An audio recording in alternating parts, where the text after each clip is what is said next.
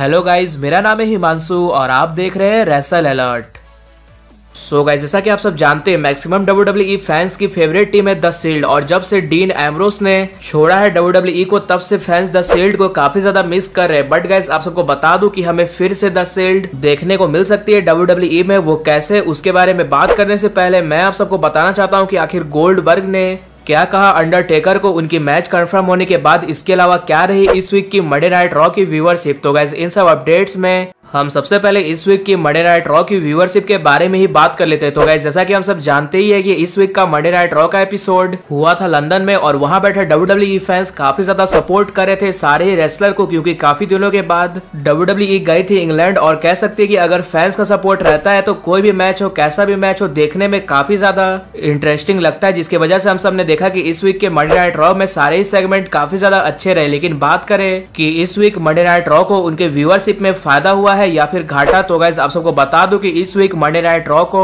हो चुका है उनके व्यूअरशिप में फ़ायदा, क्योंकि जहाँ पर पिछले वीक की मंडे नाइट रॉ की व्यूअरशिप थी 2.244 मिलियन व्यूअर्स वो इस वीक एक लाख से भी ज़्यादा बढ़कर हो चुकी है 2.349 मिलियन व्यूअर्स और कह सकते हैं कि डब्ल्यू धीरे धीरे कर कर अपनी व्यूअरशिप को इंक्रीज करने लगी है। इसलिए देखना होगा कि आखिरकार अब इस वीक की स्मैकडाउन लाइव की व्यूअरशिप क्या आती है, क्या इस वीक स्मैकडाउन लाइव को उनके व्यूअरशिप में फ़ायदा होता है या फिर घाटा, जो भी आएगा, मैं आप सबको अपनी नेक्स्ट वीडियो में बता दूँगा। तो गाइज़ ये तो थी इस वीक की मॉडर्न नाइट रॉ की व्यूअरशिप अब बात कर लेते हैं अपने नेक्स्ट अपडेट के बारे में, जो की है कि आखिर गोल्डबर्ग ने क्या कुछ कहा अंडरटेकर के बारे में। तो गैस हम सब जानते हैं कि हमें सात जून को डब्ल्यू का एक काफ़ी बड़ा इवेंट देखने को मिलेगा सऊदी अरेबिया में, जो की है सुपर सोडाउन और डब्ल्यू ने इसके लिए अभी से ही कुछ मैचेस कंफर्म कर दिए बट इस इवेंट का मेन इवेंट क्या होने वाला है, वो सामने आ चुका है, यानी कि गोल्डबर्ग वर्सेस दी अंडरटेकर और इस मैच के कंफर्म होने के बाद गोल्डबर्ग ने अपना रिएक्शन दिया अपने ऑफिशियल इंस्टाग्राम अकाउंट पर, जहाँ पर उन्होंने सबसे पहले अपनी और अंडरटेकर की एक फ़ोटो पोस्ट की, जहाँ पर दोनों आमने सामने थे, जिसके बाद उन्होंने लिखा कि ये मेरे लिए काफ़ी ज़्यादा डिफ़िकल्ट डिसीज़न था, ये मैच एक्सेप्ट करना और ये 10-15 साल पहले भी एक काफ़ी बड़ा ड्रीम मैच था मेरे लिए बट वो उस टाइम हो नहीं पाया और ये अभी भी मेरे लिए एक ड्रीम मैच ही है, जिसके बाद उन्होंने कहा कि वो काफ़ी ज़्यादा रिस्पेक्ट करते हैं अंडरटेकर की, वो एक लेजेंड है बट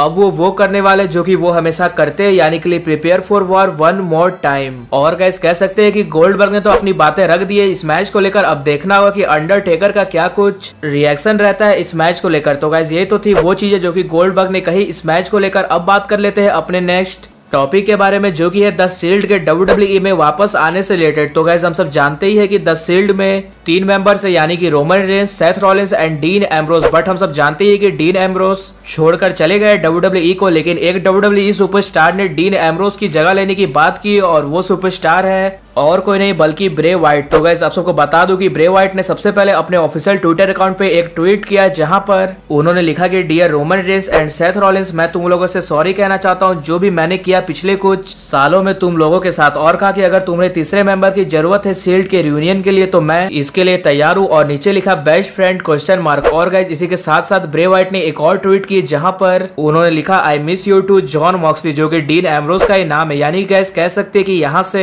हमें व्हाइट ज़रूर कुछ ना कुछ हिंट करना चाह रहे और देखकर तो लग रहा है कि वो सील्ड के तीसरे मेंबर बनना चाहते हैं। लेकिन गाइस आप सब मुझे कमेंट कर बताइए कि क्या आप ब्रे वाइट को द सील्ड के तीसरे मेंबर बनते हुए देखना चाहते हैं या फिर नहीं। इसके अलावा, अगर वीडियो पसंद आएगी तो वीडियो को भी लाइक कर दीजिए और चैनल को सब्सक्राइब करने के साथ साथ उसके बगल वाले बेल आइकन को भी ज़रूर प्रेस कर दीजिए। तो मिलते हैं गाइस अगली वीडियो में।